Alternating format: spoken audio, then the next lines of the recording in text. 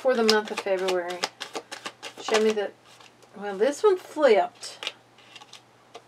So you may be dealing with um, soulmates during this time, or a soulmate energy. Is okay. Loyal heart. So whoever this is that you're dealing with, they're really it's going to feel very close. It's going you're going to feel that this is a soulmate. Um, you know, not all soulmates are here to bring us rainbows and happiness into our life. That's the thing. But how we have loyal heart come out after